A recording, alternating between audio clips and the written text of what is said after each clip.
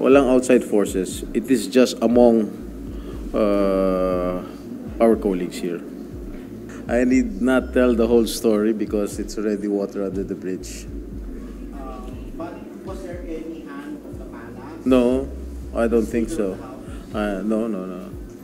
They have nothing to do. They have nothing to do with the change of leadership here in the Senate, as far as I'm concerned. What? Uh, to sign?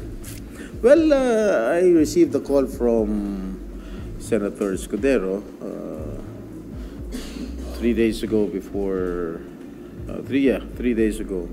And uh, he wanted to talk to me personally, so I agreed to talk to him. And uh, he was, uh, he was, he intimated to me that he was interested in the Senate presidency. And then, of course, I was asking a lot of questions.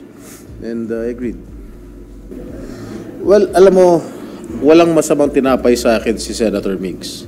He is a good friend of mine. Of course, uh, when I made my uh, decision, of course, uh, I feel so heavy. Not literally. Siyempre mabigat din sa aking uh, pakiramdam na tanggalin ng isang uh, kaibigan. Siguro wala naman maapektuhan. It's just a change of leadership. We will, we will always be supportive of uh, the uh, legislative uh, concerns of uh, the palace. Uh, as long as it will redound to the benefit of our people, we will always be supportive of it.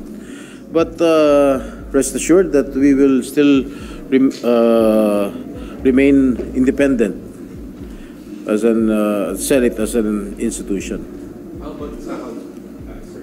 What will be your relationship sa?